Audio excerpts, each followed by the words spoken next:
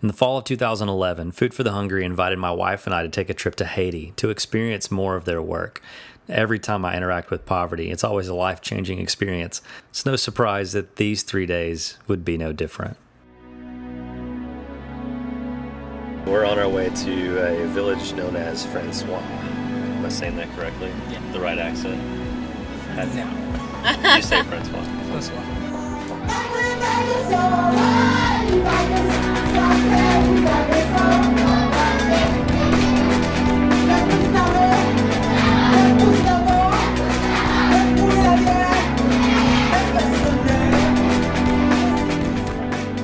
The highlight of our trip was a day in this small village of Francois. Francois is a new community for Food for the Hungry, and their work there is just beginning. You could already sense their presence. Despite their difficult living conditions, the kids greeted us with so much joy. Joy that, we were told, was really only recently being found amongst the people who lived there. Our short time in Francois began with a visit to the home of Donald, one of the newest kids that Kate and I sponsored through Food for the Hungry. I got to teach Donald a few magic tricks during our visit. It was unforgettable.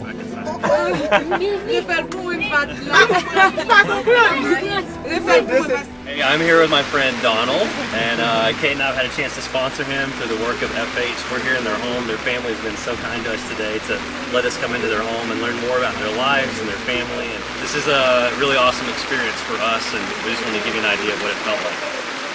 After spending time with Donald and his family in his home, we recognized that none of the homes in the village had access to clean running water. They had to hike to get to it. It was about a two hour hike, and we were invited to take it. It was hot, muggy, and almost entirely uphill. They run. we uh, gently walk down to make sure we don't fall. But uh, this walk and hike is wearing me out. And uh, as you can tell, the girls that we just passed, uh, two of them were carrying buckets of water. One of them was at least a five gallon bucket. Um, I don't know if you've ever tried to pick up a five gallon bucket of water before, but it's insanely heavy.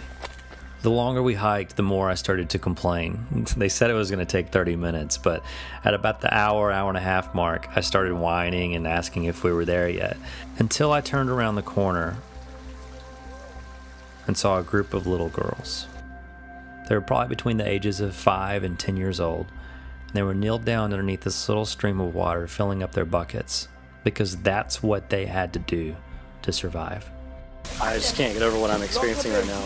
These kids are walking for miles through a trail that I just struggled on because it's slippery and muddy and uh, there's rocks and just can't get over the fact that they do this every day. They're just kids. As we began the hike back to the village, all I could do was begin to cry. One of the Haitian men that was hiking with us noticed that something was wrong and asked what it was. I tried to explain how difficult it was for me to watch these little girls have to walk this far every day just for water.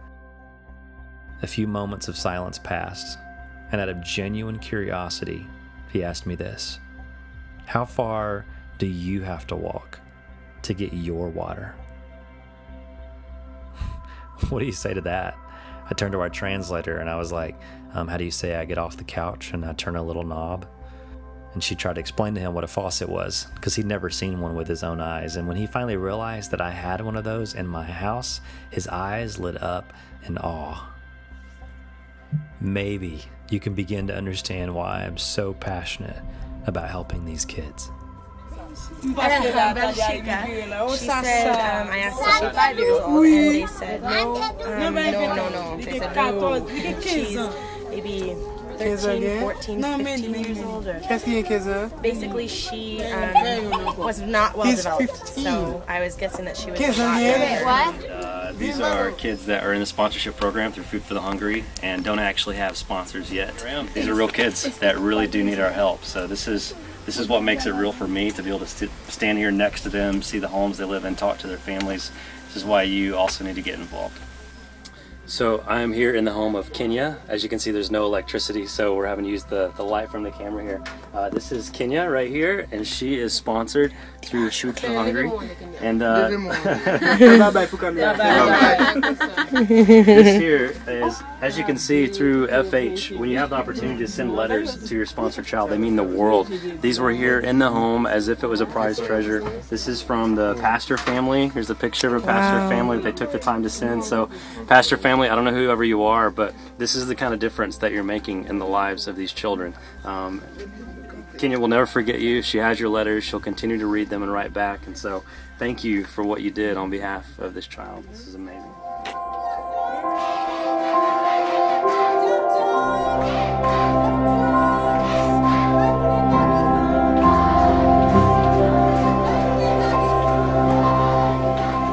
Because of kids like Kenya and Donald being sponsored, they now have access to basic needs that we take for granted.